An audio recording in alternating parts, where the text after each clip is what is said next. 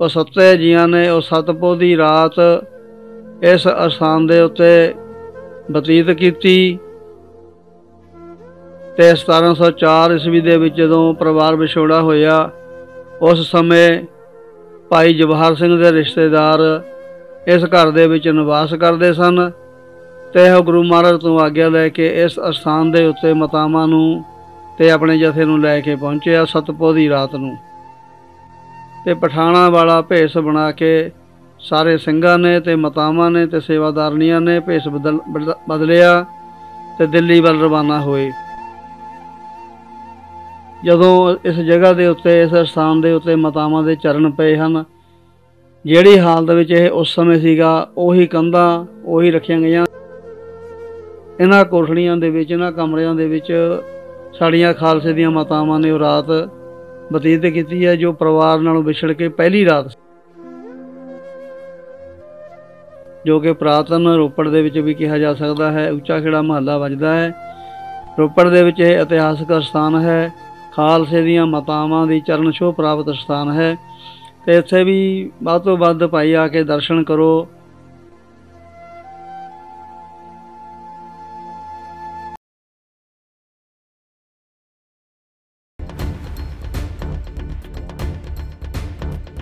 ਵਾਹਿਗੁਰੂ ਜੀ ਦਾ ਖਾਲਸਾ, ਸ੍ਰੀ ਵਾਹਿਗੁਰੂ ਜੀ ਦੀ ਫਤਿਹ। ਇਸ ਵੇਲੇ ਅਸੀਂ ਗੁਰੂ ਕੇ ਮਹਿਲ ਸਥਾਨ ਉੱਤੇ ਖੜੇ ਹਾਂ, ਜੋ ਗੁਰਦੁਆਰਾ ਸਾਹਿਬ ਇੱਥੇ ਸੁਸ਼ੋਭਿਤ ਹੈ। ਤੇ ਇਹ ਸਥਾਨ ਹੈ ਜਿਹੜਾ ਮਾਤਾ ਸੁੰਦਰ ਕੌਰ ਜੀ ਅਤੇ ਮਾਤਾ ਸਾਹਿਬ ਕੌਰ ਜੀ ਨਾਲ ਸੰਬੰਧਿਤ ਹੈ। ਇਹ ਸਥਾਨ ਦ- 1704 ਤੋਂ ਬਾਅਦ 2017 ਦੇ ਵਿੱਚ ਖੋਜ ਕੀਤੀ ਗਈ ਸੀ ਇਸ ਸਥਾਨ ਦੀ। ਇਸ ਸਥਾਨ ਦੀ ਖਾਸੀਅਤ ਇਹ ਹੈ ਜਿੱਥੇ ਖਾਲਸੇ ਦੀਆਂ ਮਾਤਾਵਾਂ ਨੇ ਇੱਥੇ ਰਾਤ ਕੱਟੀ ਹੈ ਤੇ ਆਓ ਤੁਹਾਨੂੰ ਉਸ ਸਥਾਨ ਦੇ ਦਰਸ਼ਨ ਕਰਾਉਂਦੇ ਆ ਆਓ ਗੱਲਬਾਤ ਕਰਦੇ ਇਸ ਸਥਾਨ ਬਾਰੇ ਇਸ ਸਥਾਨ ਦੇ ਇਤਿਹਾਸ ਬਾਰੇ ਵੀ ਕਿਉਂ 1704 ਤੋਂ ਬਾਅਦ ਇੰਨਾ ਲੰਬਾ ਸਮਾਂ ਲੱਗ ਗਿਆ ਇਸ ਸਥਾਨ ਨੂੰ ਲੋਕਾਂ ਸਾਹਮਣੇ ਆਉਣ ਵਾਸਤੇ? ਭਾਈ ਸਾਹਿਬ ਜਗਜੀਵਨ ਸਿੰਘ ਜੀ ਜੋ ਸੇਵਾਵਾਂ ਨਿਭਾ ਰਹੇ ਨੇ ਆਓ ਗੱਲਬਾਤ ਕਰਦੇ ਇਸ ਸਥਾਨ ਬਾਰੇ ਇਸ ਸਥਾਨ ਵਾਹਿਗੁਰੂ ਖਾਲਸਾ ਜੀ। ਖਾਲਸਾ ਵਾਹਿਗੁਰੂ ਜੀ ਕੀ ਫਤਿਹ ਹਾਂਜੀ। ਬਾਬਾ ਜੀ ਇੰਨਾ ਲੰਬਾ ਸਮਾਂ ਕਿਉਂ ਲੱਗ ਗਿਆ ਤੇ ਪਹਿਲਾਂ ਸਭ ਤੋਂ ਪਹਿਲਾਂ ਇਤਿਹਾਸ ਬਾਰੇ ਚਾਨਣਾ ਪਾਇਓ ਇਸ ਸਥਾਨ ਦੇ ਵਾਹਿਗੁਰੂ ਜੀ ਕਾ ਖਾਲਸਾ ਵਾਹਿਗੁਰੂ ਜੀ ਕੀ ਫਤਿਹ। ਸਾਧ ਸੰਗਤ ਜੀਓ, ਇਹ ਸਥਾਨ ਖਾਲਸੇ ਦੀਆਂ ਮਾਤਾਵਾਂ, ਮਾਤਾ ਸੁੰਦਰ ਕੌਰ ਜੀ ਤੇ ਮਾਤਾ ਸਾਹਿਬ ਕੌਰ ਜੀ ਦੀ ਚਰਨ ਛੋਹ ਪ੍ਰਾਪਤ ਸਥਾਨ ਹੈ। ਜਿਵੇਂ ਕਿ ਅਸੀਂ ਜਾਣਦੇ ਹਾਂ ਕਿ ਸਰਸਾ ਦੇ ਕਿਨਾਰੇ ਤੇ ਜਦੋਂ ਪਰਿਵਾਰ ਵਿਛੋੜਾ ਹੋਇਆ, ਤਾਂ ਗੁਰੂ ਸਾਹਿਬ ਦਾ ਪਰਿਵਾਰ ਤਿੰਨ ਹਿੱਸਿਆਂ ਵਿੱਚ ਵੰਡਿਆ ਗਿਆ। ਦਸ਼ਮੇਸ਼ ਪਿਤਾ, ਵੱਡੇ ਸਾਹਿਬਜ਼ਾਦਿਆਂ ਤੇ 40 ਕੁ ਸਿੰਘਾਂ ਦੇ ਨਾਲ ਪੱਠਾ ਸਾਹਿਬ ਤੋਂ ਹੁੰਦੇ ਹੋਏ, ਚਮਕੌਰ ਸਾਹਿਬ ਦੀ ਗੜੀ ਦੇ ਵਿੱਚ ਜਾ ਟਿਕਾਣਾ ਕੀਤਾ ਸਤਪੋ ਦੀ ਰਾਤ ਨੂੰ ਤੇ ਦੂਜੇ ਪਾਸੇ ਬਜ਼ੁਰਗ ਮਾਤਾ ਮਾਤਾ ਗੁਜਰ ਕੌਰ ਜੀ ਤੇ ਛੋਟੇ ਸਾਹਿਬਜ਼ਾਦੇ ਮਾਤਾ ਜੀ ਦੇ ਨਾਲ ਸਰਸਾ ਉਹਨਾਂ ਤੋਂ ਪਾਰ ਨਹੀਂ ਹੋਇਆ। ਤੋਂ ਲਹਿੰਦੇ ਵੱਲ ਚੱਲਦੇ ਚੱਲਦੇ ਕੁੰਮਾ ਮਾਸ਼ਕੀ ਦੇ ਕੋਲ ਉਹਦੀ ਛੰਨ ਦੇ ਵਿੱਚ ਉਹਨਾਂ ਨੇ ਰਾਤ ਬਤੀਤ ਕੀਤੀ, ਜੋ ਕਿ ਪਿੰਡ ਚੱਕ ਢੇਰਾ ਦੇ ਕੋਲ ਅਸਥਾਨ ਬਣਿਆ ਹੋਇਆ ਹੈ। ਸੰਨ ਬਾਬਾ ਕੁੰਮਾ ਮਾਸ਼ਕੀ ਯਾਦਗਾਰ ਮਾਤਾ ਗੁਜਰ ਕੌਰ ਜੀ ਤੇ ਛੋਟੇ ਸਾਹਿਬਜ਼ਾਦੇ ਬਾਬਾ ਜੋਰਾਵਰ ਸਿੰਘ ਜੀ ਤੇ ਬਾਬਾ ਫਤਿਹ ਸਿੰਘ ਦੀ ਯਾਦ ਵਿੱਚ ਤੇ ਤੀਜਾ ਹਿੱਸਾ ਖਾਲਸੇ ਦੀਆਂ ਮਾਤਾਵਾਂ ਮਾਤਾ ਸੁੰਦਰ ਕੌਰ ਜੀ ਤੇ ਮਾਤਾ ਸਾਹਿਬ ਕੌਰ ਜੀ। ਤਿੰਨ ਸਿੰਘਾਂ ਦੇ ਨਾਲ ਭਾਈ ਧਰਨਾ ਸਿੰਘ, ਭਾਈ ਜਵਾਹਰ ਸਿੰਘ ਤੇ ਭਾਈ ਮਨੀ ਸਿੰਘ। ਦੋ ਸੇਵਾਦਾਰਨੀਆਂ ਬੀਬੋ ਤੇ ਭਾਗੋ ਉਹਨਾਂ ਦੇ ਨਾਲ ਸਨ। ਉਹ ਸੱਤੇ ਜੀਆਂ ਨੇ, ਉਹ ਸਤਪੋ ਦੀ ਰਾਤ ਇਸ ਅਸਥਾਨ ਦੇ ਉੱਤੇ ਬਤੀਤ ਕੀਤੀ। ਭਾਈ ਜਵਾਹਰ ਸਿੰਘ ਖੱਤਰੀ ਅਰੋੜਾ ਪਰਿਵਾਰ ਦੇ ਨਾਲ ਸੰਬੰਧ ਰੱਖਦਾ ਸੀ ਤੇ ਦਿੱਲੀ ਦਾ ਰਹਿਣ ਵਾਲਾ ਸੀ ਤੇ 1704 ਈਸਵੀ ਦੇ ਵਿੱਚ ਜਦੋਂ ਪਰਿਵਾਰ ਵਿਛੋੜਾ ਹੋਇਆ, ਉਸ ਸਮੇਂ ਭਾਈ ਜਵਾਹਰ ਸਿੰਘ ਦੇ ਰਿਸ਼ਤੇਦਾਰ ਇਸ ਘਰ ਦੇ ਵਿੱਚ ਨਿਵਾਸ ਕਰਦੇ ਸਨ। ਤੇ ਉਹ ਗੁਰੂ ਮਹਾਰਾਜ ਤੋਂ ਆਗਿਆ ਲੈ ਕੇ ਇਸ ਅਸਥਾਨ ਦੇ ਉੱਤੇ ਮਤਾਵਾਂ ਨੂੰ ਤੇ ਆਪਣੇ ਜਥੇ ਨੂੰ ਲੈ ਕੇ ਪਹੁੰਚਿਆ ਸਤਪੋ ਦੀ ਰਾਤ ਨੂੰ। ਤੇ ਸਤਪੋ ਦੀ ਰਾਤ ਇੱਥੇ ਬਤੀਤ ਕਰਨ ਤੋਂ ਬਾਅਦ ਅੱਠਪੋ ਦੀ ਸਵੇਰ ਨੂੰ ਇੱਥੋਂ ਇਹ ਜਥਾ ਦਿੱਲੀ ਨੂੰ ਰਵਾਨਾ ਹੋਇਆ। ਇਸ ਪਰਿਵਾਰ ਤੋਂ ਬੈਲ ਗੱਡੀ ਲੈ ਕੇ ਤੇ ਪਠਾਣਾ ਵਾਲਾ ਭੇਸ ਬਣਾ ਕੇ ਸਾਰੇ ਸਿੰਘਾਂ ਨੇ ਤੇ ਮਾਤਾਵਾਂ ਨੇ ਤੇ ਸੇਵਾਦਾਰਨੀਆਂ ਨੇ ਭੇਸ ਬਦਲ ਬਦਲ- ਬਦਲਿਆ। ਤੇ ਦਿੱਲੀ ਵੱਲ ਰਵਾਨਾ ਹੋਏ। ਸੋ ਸਾਧ ਸੰਗਤ ਜੀਓ, ਇਹ ਸਥਾਨ 2017 ਦੇ ਵਿੱਚ ਸਾਹਮਣੇ ਆਇਆ ਹੈ।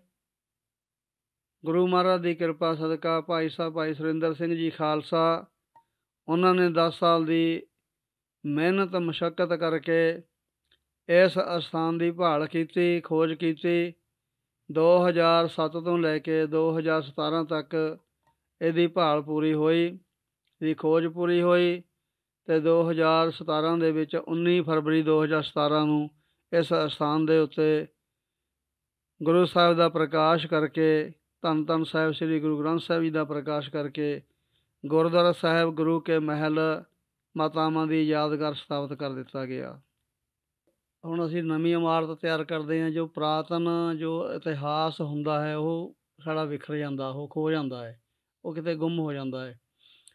ਉਹ ਸਾਹਮਣੇ ਦੇਖਣ ਨਹੀਂ ਰਹਿੰਦੀ ਪੁਰਾਣੇ ਇਤਿਹਾਸ ਦੀ।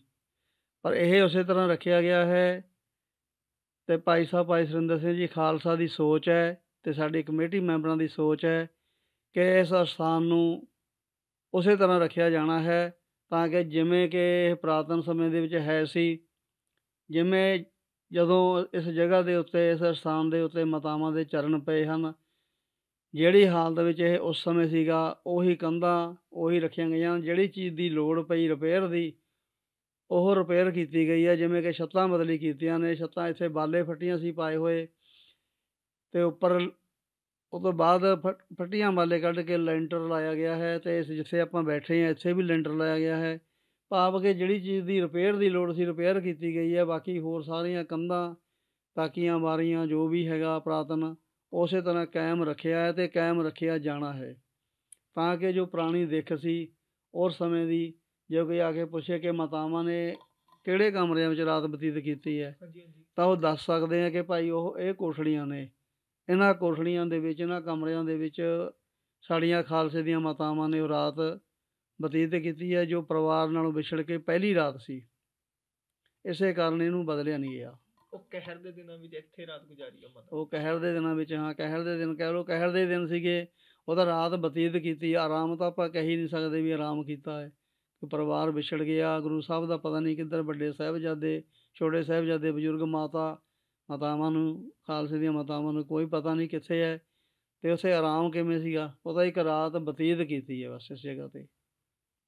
ਉਹਨਾਂ ਦੇ ਆਉਣ ਦੀ ਯਾਦ ਦੇ ਵਿੱਚ ਛੇ ਪੋਹ ਦਾ ਸਮਾਗਮ ਹਰ ਇੱਕ ਸਾਲ ਮਨਾਇਆ ਜਾਂਦਾ ਹੈ ਤੇ ਹੁਣ ਵੀ ਛੇ ਪੋਹ ਦਾ ਸਮਾਗਮ ਸੱਤਵਾਂ ਸਮਾਗਮ ਹੈ ਇਸ ਵਾਰੀ ਤੇ ਸੱਤਵਾਂ ਸਮਾਗਮ ਇਸ ਵਾਰੀ ਛੇ ਪੋਹ ਦਾ ਮਨਾਇਆ ਜਾਣਾ ਹੈ। ਸੋ ਜੋ ਕਿ ਭਾਵੇਂ ਮਾਤਾਵਾਂ ਸੱਤ ਪੋਹ ਨੂੰ ਇੱਥੇ ਆਈਆਂ ਸੀਗੀਆਂ, ਪਰ ਸਾਡੀ ਪ੍ਰਬੰਧਕ ਕਮੇਟੀ ਇੱਕੋ ਹੀ ਹੈ, ਕੁਮਾ ਮਾਸ਼ਕੀ ਵਾਲੇ ਸਥਾਨ ਦੀ ਵੀ ਤੇ ਇੱਥੇ ਦੀ ਵੀ ਇੱਕ ਪ੍ਰਬੰਧਕ ਕਮੇਟੀ ਪ੍ਰਬੰਧਕ ਵੀਰ ਇੱਕੋ ਹੀ ਹਨ ਤੇ 6 7 8 ਪੋਹ ਦਾ ਸਮਾਗਮ ਚੰਨ ਬਾਬਾ ਕੁਮਾ ਮਾਸ਼ਕੀ ਵਾਲੇ ਸਥਾਨ ਤੇ ਵੱਡਾ ਸਮਾਗਮ ਹੁੰਦਾ ਹੈ ਤੇ ਉਹਦੇ ਕਾਰਨ ਕਿ ਪ੍ਰਬੰਧਕ ਵੀਰ ਇੱਕੋ ਨੇ ਤੇ ਇੱਥੇ ਇੱਕ ਦਿਨ ਪਹਿਲਾਂ 6 ਪੋਹ ਦਾ ਸਮਾਗਮ ਰੱਖਿਆ ਗਿਆ ਹੈ, ਜੋ ਕਿ ਹਰ ਇੱਕ ਸਾਲ ਮਨਾਇਆ ਜਾਂਦਾ ਹੈ, ਇਹੋ ਹੀ ਅਪੀਲ ਹੈ, ਸੰਗਤ ਨੂੰ ਇਹੋ ਹੀ ਬੇਨਤੀ ਆ। ਅਪੀਲ ਤਾਂ ਅਸੀਂ ਕਹਿ ਨਹੀਂ ਸਕਦੇ ਕਿ ਬੇਨਤੀ ਆ ਸੰਗਤ ਨੂੰ ਕਿ ਜਿਵੇਂ ਅਸੀਂ ਬੜੀ ਦੂਰ ਤੱਕ ਗੁਰੂ ਸਾਹਿਬਾਂ ਦੇ ਇਤਿਹਾਸਕ ਅਸਥਾਨ ਦਰਸ਼ਨ ਕਰਨ ਵਾਸਤੇ ਜਾਂਦੇ ਹਾਂ ਤੇ ਇਹ ਵੀ ਇੱਕ ਆਪਣੇ ਇਲਾਕੇ ਦੇ ਵਿੱਚ ਆਪਣੇ ਨੇੜੇ ਰੋਪੜ ਉੱਚਾ ਖੇੜਾ ਮਹੱਲਾ, ਜੋ ਕਿ ਪ੍ਰਾਤਨ ਰੋਪੜ ਦੇ ਵਿੱਚ ਵੀ ਕਿਹਾ ਜਾ ਸਕਦਾ ਹੈ, ਉੱਚਾ ਖੇੜਾ ਮਹੱਲਾ ਵੱਜਦਾ ਹੈ। ਰੋਪੜ ਦੇ ਵਿੱਚ ਇਹ ਇਤਿਹਾਸਕ ਸਥਾਨ ਹੈ, ਖਾਲਸੇ ਦੀਆਂ ਮਾਤਾਵਾਂ ਦੀ ਚਰਨ ਛੋਹ ਪ੍ਰਾਪਤ ਸਥਾਨ ਹੈ।